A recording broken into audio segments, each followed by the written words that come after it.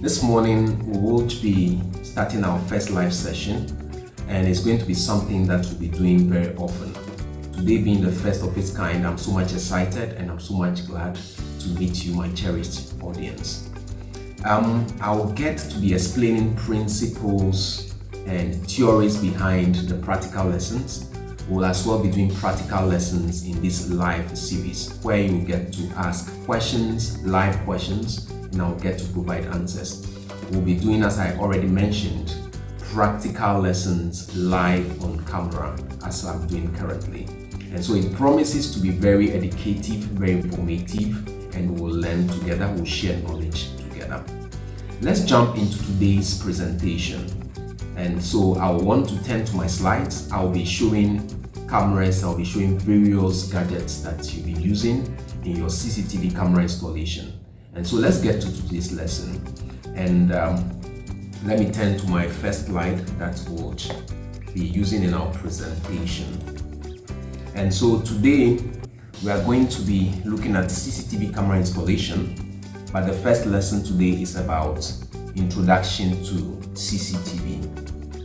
And so um, introduction to CCTV in a nutshell is a topic that is going to take you from beginner level when it comes to CCTV camera installation and we'll build it up to an advanced level where we'll get to be able to fix any kind of CCTV camera at all that you find. And so basically that's what is going to, to be today's lesson or that is where we're going to be starting from.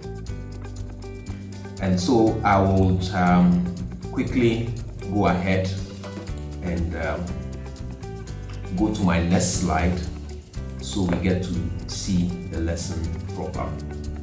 Let's get to define CCTV.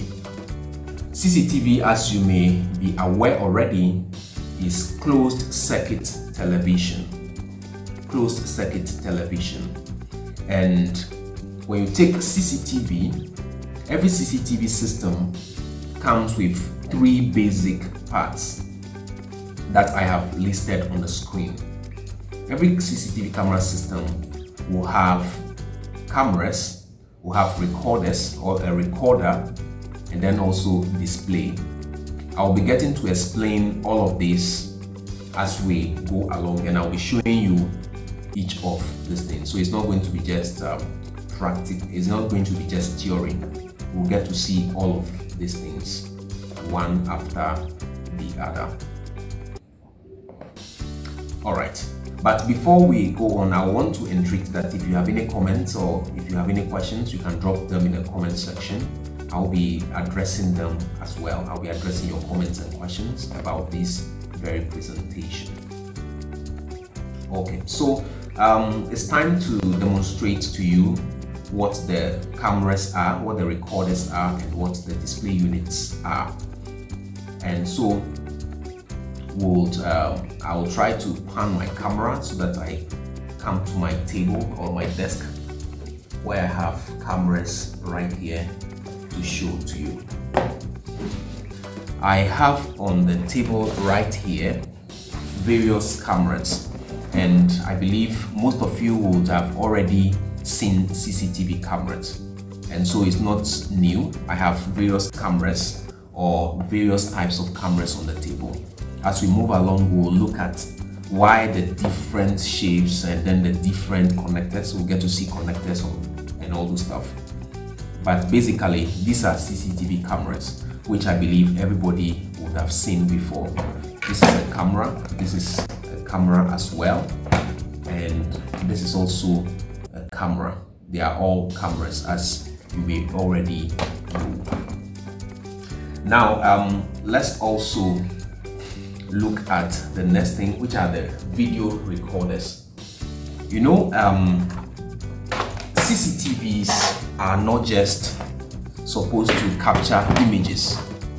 They're supposed to be a means where you'll be able to record your your videos.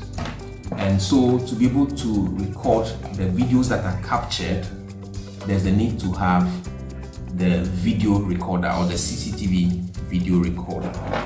And here is an example of a CCTV video recorder. Let me lift it up. This is actually the back of it. So let me turn the front of the recorder. This is the front of the CCTV video recorder. As we move along we'll look at it into details. We'll look at the DVR into details where we'll look at where the data is stored. But basically this is how it looks the front does not have much.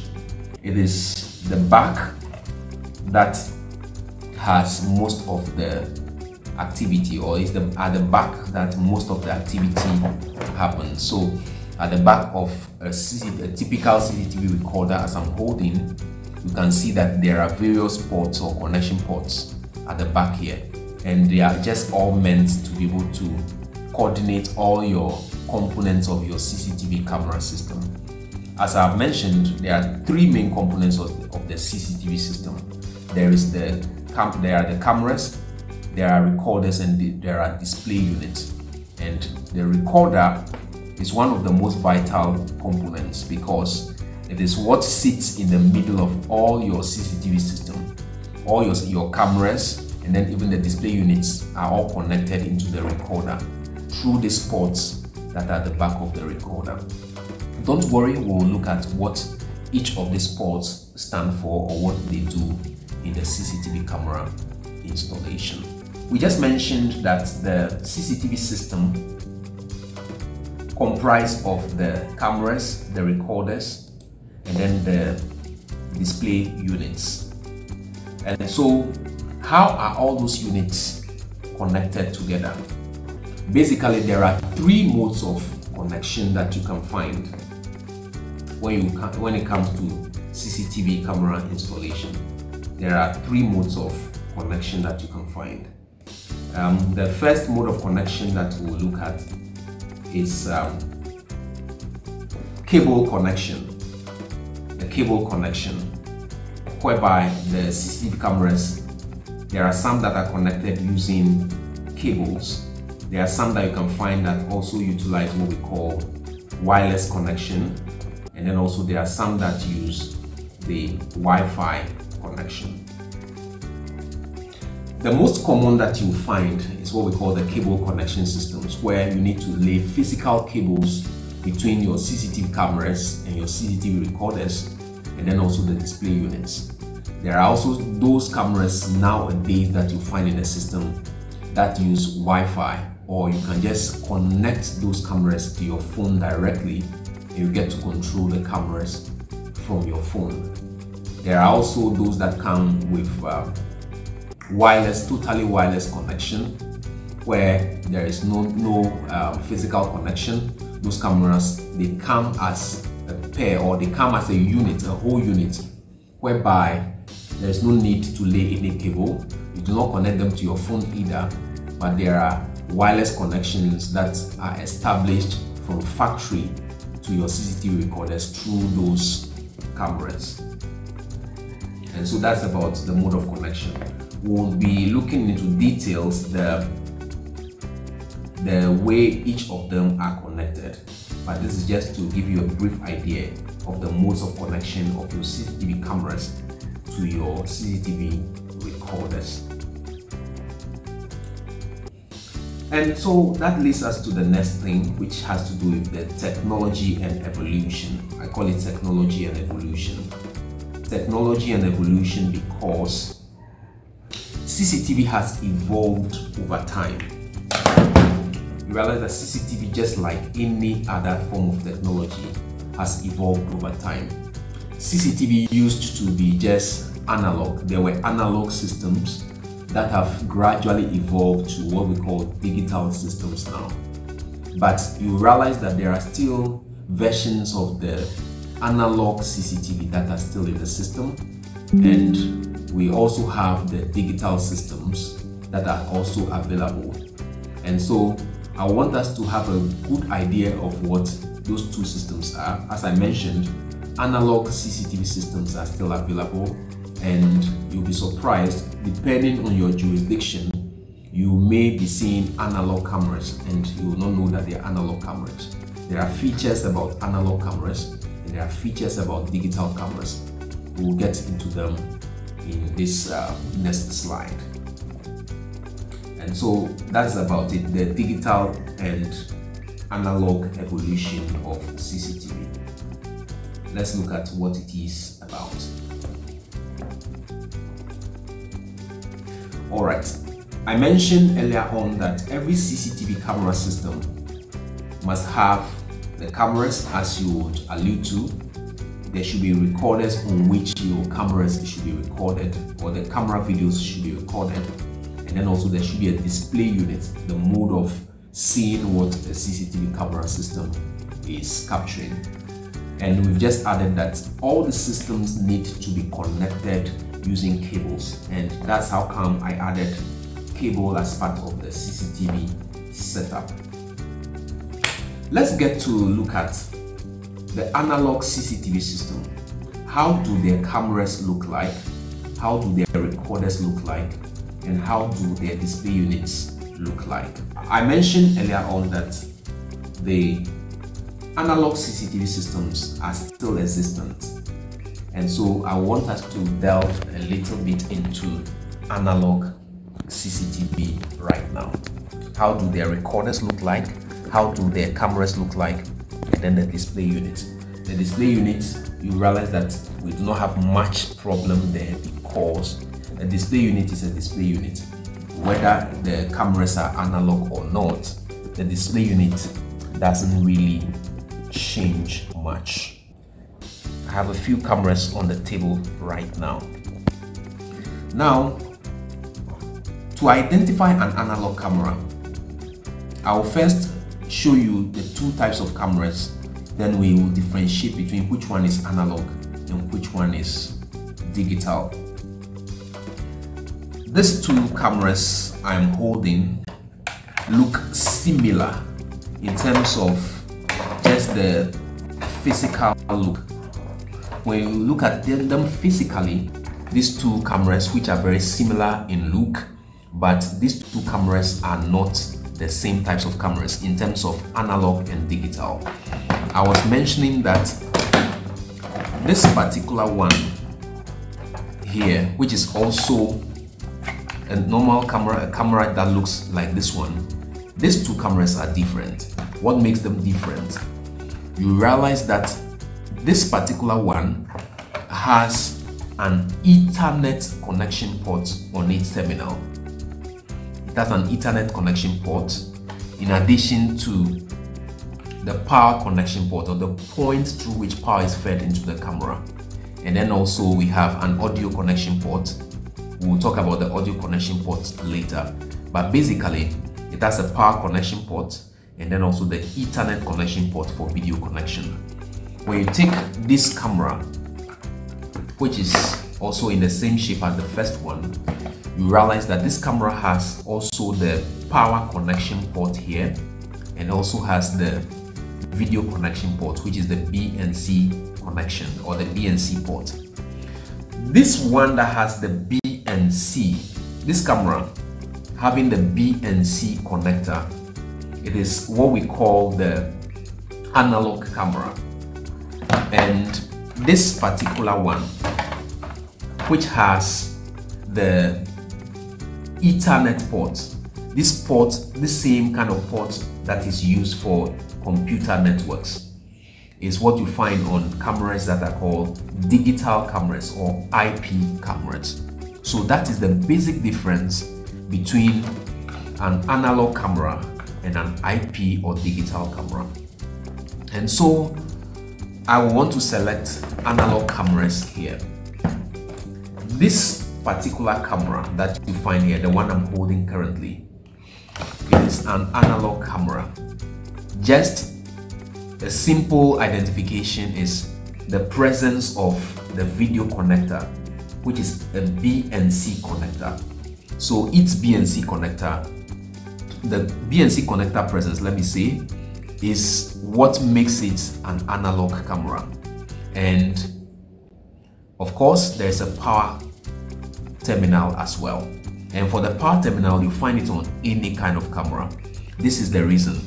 Every camera, just like any kind of electronic device, uses power to be able to function. Let me use the case of a radio set, which is an electronic device.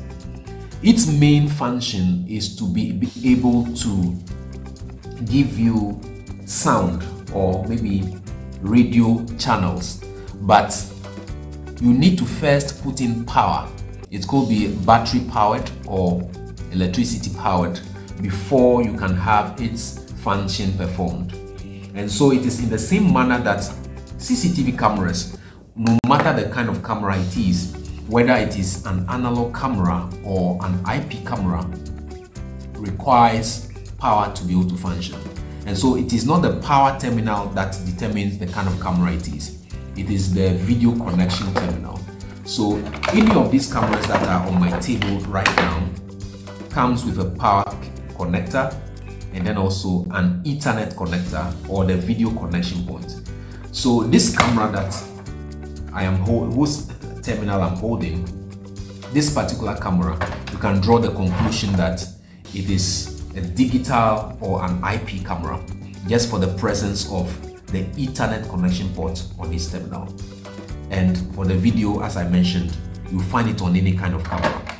Because when i take this camera whose terminal is this? It has a power terminal and also has a bnc connection port which is for the video connection into the camera or from the camera. So it is an analog camera. So that settles it. The basic difference is the presence of the video connection ports Digital cameras come with Ethernet ports and analog cameras come with the BNC connection ports. Now, um, when it comes to analog CCTV, you realize that analog CCTV systems have evolved to a point where there used to be various systems in the olden days or in the immediate past there used to be various kinds of um, analog CCTV systems. But the basic technology or the current technology of analog systems is what we call the AHD systems. So we do not have any kind of older systems of um, AHD or analog CCTV. The modern or the latest version of analog CCTV systems that you find in the market today are what we call analog high definition cameras AHD you would have heard of AHD but the presence of the HD in that name does not make it digital camera so the latest version of analog cameras you find nowadays is what we call the AHD CCTV cameras and the cameras that I showed you these cameras that I have here are all AHD cameras. This camera is an AHD camera. It is an, an analog high definition camera. And you realize that there are myths where people think that if you can view the CCTV camera on your phone or you can view it online, then it means that it's a digital camera. No. These analog cameras that I have here, in subsequent lessons, we'll see how to set them up and I'll show you how you can even link AHD or analog high definition cameras to the internet. You can view them on phone, you can view them on PCs, you can do anything at all with it because these are latest technology analog cameras. And so that is something you should note very well. Let's look at the next, uh, the next information I want to share. And so, okay, we have looked at the identity features already. That is analog cameras having BNC connection as their video terminals. And then also the IP cameras having the, the Ethernet port on their connection terminal. Now let's look at the this fact. The reason for having all these various shapes of cameras. As I showed, we have so many shapes of these cameras. So I want us to look at the reason why there are diverse shapes of these CCTV cameras. So I want to uh, point to the cameras again so that you get to see. Let me explain the reason for all these shapes of cameras. All right, so um, here are the cameras. As you can see, um, I just enumerated that this is an AHD or analog high definition camera. This particular camera is an AHD camera because it has a BNC connector. And this particular type of cameras are called the bullet cameras or cameras installed in outdoor locations. By their shape or because of how they look, they are referred to as bullet cameras and they are mainly meant for outdoor purposes. Um, whether it's an analog camera or an IP camera, you'll find that these shapes are all bullet cameras. They are called bullet cameras. They are installed at outdoor locations. When you look at them critically, we realize that they are well sealed against moisture or rain. There's no way that moisture or rain will get access to these kind of cameras. And that's how come they are called bullet cameras or outdoor cameras. But when you do for this one, you realize that moisture or rain will easily get, get it damaged. And that is not how the manufacturer installed it or made it to be. So it is very important to ensure that bullet cameras are installed at outdoor locations and turret or dome cameras are installed in indoor locations or locations where they are protected against moisture or rain. Camera resolutions. Camera resolution, which is measured in megapixel or the MP. You realize that cameras come in various qualities in terms of how clear or the kind of picture quality you find on your CCTV camera. These cameras that I have with me here, I'll try to show the resolutions. Um, the camera can, can capture, I'm not sure it's uh, very clear, but this camera is a 2 MP camera. That is a 2 megapixel camera. And so a 2 megapixel camera has a degree or the extent to which you can have your images. Unlike another maybe resolution of camera. This one is a 2 MP camera and this other one though is an IP camera is a 3 MP camera. You'll find the resolutions on the nameplates that you find on the camera. This particular one is a 2 MP camera. This particular one is a 3 MP camera and this is a 2 MP camera. The megapixel or the MP that I'm talking about is just how clear or how sharp the images of the camera will be. That is what the resolution is about. And so when you get a camera or if you are to purchase a camera, those are specifications you'll be putting across whether it's an indoor camera or an outdoor camera. And then also the resolution is what determines the quality of your camera. And currently you'll find cameras that are as even sharper as there are even uh, some cameras that have gone beyond 4k or the 8 megapixel remember 8 megapixel is the same as 4k video so if you find that they say a camera is 4k that is to say simply it is an 8 megapixel camera. That is the quality of brightness or sharpness of your camera is rated as 4K or 8 MP. And so that's another point to note about CCTV cameras. Let's move on to the next one. Okay, so um, let me now go to CCTV video recorders. Remember, the CCTV recorder is essential to the CCTV setup because that is where the storage of your videos would, would be done. And so it's an important aspect of your CCTV camera system. I have on my table here a CCTV video recorder, which is meant for analog CCTV installations. And how you call CCTV recorders that are meant for analog CCTV is what we call the DVR. This is a DVR or the digital video recorder. That is what the DVR stands for.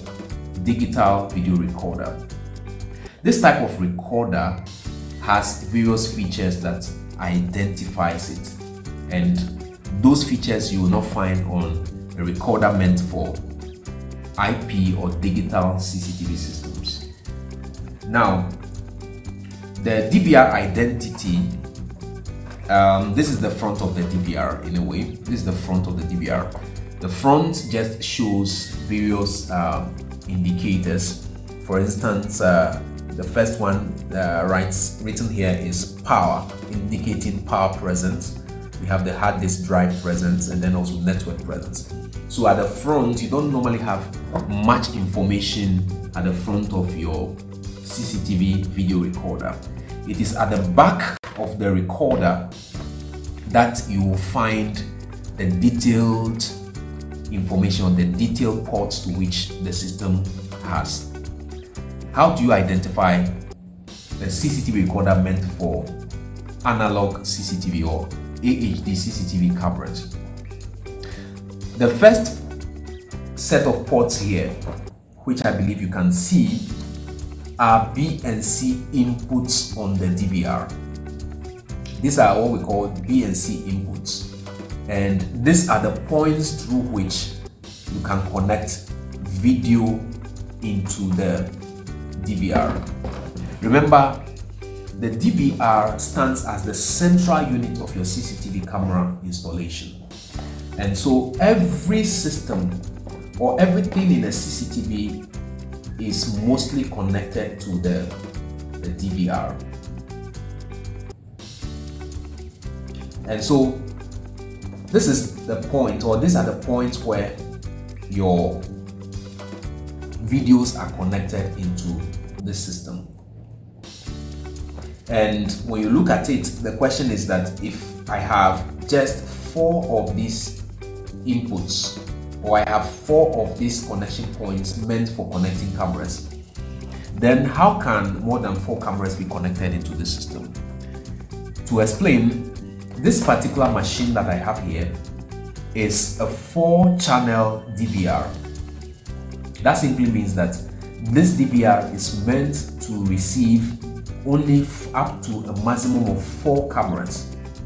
And so there are other systems that come with larger number of inputs for video.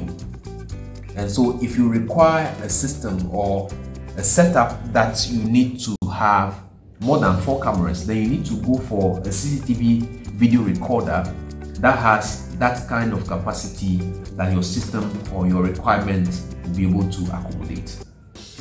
So this is a four channel DVR and the reason why I say it's a four channel DVR is because it has four BNC inputs through which you can connect video into this camera. And apart from the BNC inputs, let me jump to the display port. Here is a VGA port. A VGA port, let me show it to the camera.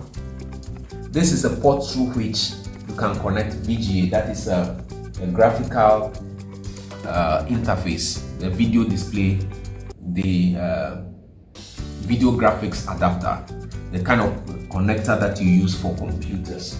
I have a sample here. Let me show to you the VGA. Basically, the, the port that looks like a computer connection to a computer's monitor. That is where you connect it so that you can display your DVR's output on a monitor that has a VGA connection. So this is the kind of cable that connects through that point where you can connect into this kind of cable. You can connect the DVR to a screen that has the VGA. Apart from the VGA port, there's also an HDMI connection port so that for modern screens that have the means through which you can connect the HDMI, you can use the HDMI to connect to TV screens. So you just plug an HDMI cable here and also plug to the TV screen that you wish to use for your CCTV camera display. Um, so now let me also talk about this port that I excluded. Uh, the right up here is audio out. The audio out that suggests that if you have cameras that come with microphone that will enable you to be able to record sound or pick sound from your cameras, you can connect a cable here to a speaker where you can hear the sound of the cameras audibly. So that's the reason for this kind of audio out um, port. There is also audio input ports on the DVR where if a camera has sound, it will give you provision to be able to plug in the sound from the camera into the DVR. This is a four channel DVR and so provision is made for four audio inputs into the DVR as well. And I was mentioning in my introduction that the DVR, which is the recorder for analog CCTV systems, is able to give you the ability to view analog cameras online. That is possible through the Ethernet port that is here. Through this port, in subsequent lessons, that's what we're going to use to be able to learn how to put the DVR online. So through a network cable plugged in here, you can connect internet into the DVR so that you can put your cameras on the internet so you can view the cameras on the internet. So that's about that. When it comes to the size of the DVR, I've already mentioned that this particular DVR that I have here is a four channel DVR because it has provision to carry a maximum of four cameras through these BNC inputs that are meant for connecting video into the into the DVR. Remember I mentioned earlier on that analog cameras have BNC video connection or BNC video terminal. And so you also find that the DVR or the digital video recorder also has BNC inputs through which you can connect your cameras into your DVR. And so that is that. Now, um, we haven't gotten to the system where the point where we display the firmware of the DVR. But a DVR comes with a firmware already in it. A DVR comes with a firmware. A firmware is just uh, the software that, if you have already seen a CCTV screen before, you realize that you have the situation where the, the CCTV screen is divided into various segments. For example, with my four channel DVR, when we connect it to a screen and we look at the screen right now, you see that the screen will be divided into four parts or the four windows through which your cameras will be displayed. The firmware comes with the DVR from home or from the manufacturers. You do not have to do any upload of firmware onto this. The firmware comes with the DVR. By the time you have you know the capacity, this is a four channel DVR. When you connect it to a screen, you already have the divisions or the four windows required to have your cameras. So you do not have to do any configuration to have that kind of to have that kind of uh, uh, windows to display your your cameras. Now, this system, I wish I had time that I could just open this. The DVR, the DVR houses what we call a hard disk drive. Hard disk drive on which data or the video data, video from your cameras will be stored. Because this is the unit on which your cameras are recorded. The recordings are done into the hard disk drive. I will, uh, maybe in the next lesson, I will open up the system, the, the DVR, and show how you can install your DV your, your hard disk drive into the, the DVR to be able to take up the recordings. But note that the bigger the size of hard drive installed in the DVR, the longer the duration of recordings you can do. So you must choose your hard drive according to the volume of data you want to save or you want to record per time. But there's still a cap or a limit to the, uh, the size of hard drive you can put in a DVR. So it does not mean that you want a large number or a large duration of time. That is the number of days of video you can save. If you want longer duration, it is not open that you can go and take any size of hard drive. No, the manufacturers of the DVR have a specific limit which you can find in your DVR manual that tells you the highest or the largest size of hard drive that you can place in your DVR. So it is not open like that. You need to refer to your manual to know the size of hard drive you can install in your DVR. But I assure you in the next lesson, I will show you the hard drive, how it is fully installed in the hard drive, into the, the DVR, sorry.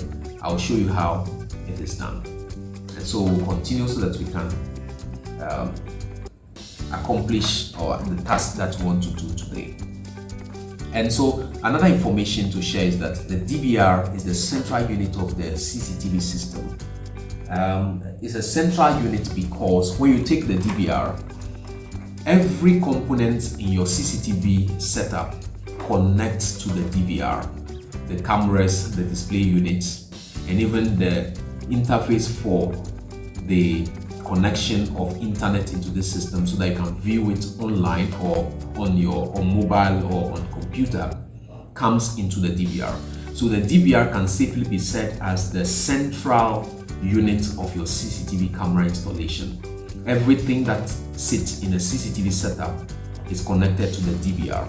So by the time you know what connects to each of these inputs of the DVR, it should be easy to set up CCTV camera system. So if I if I show you how to, by the time we look at how to terminate the various cables that go into these ports that are on the on the DVR, then we are almost there at being able to set up the CCTV. Very simple and very easy like that. There is no difficulty about it.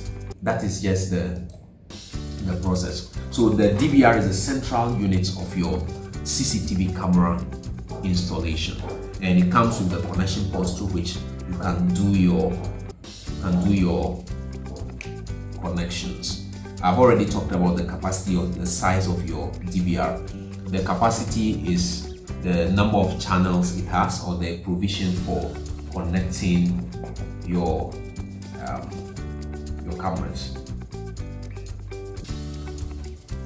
All right, so um, I would have loved to attend to viewer comments, but I think uh, there are difficulties with the, the viewer comment section.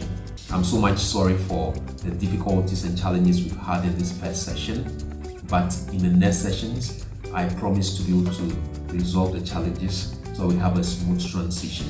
My target is that these lessons will be able to answer everyone's question so that everyone will be able to achieve his purpose of coming spending time and data to come and sit and watch these videos. I'm so much glad you came around. I'm so much uh, appreciative of your time. I pray that uh, next time everything will go on well so you benefit maximally from this session. Thank you so much for being there. I love you. Bye bye.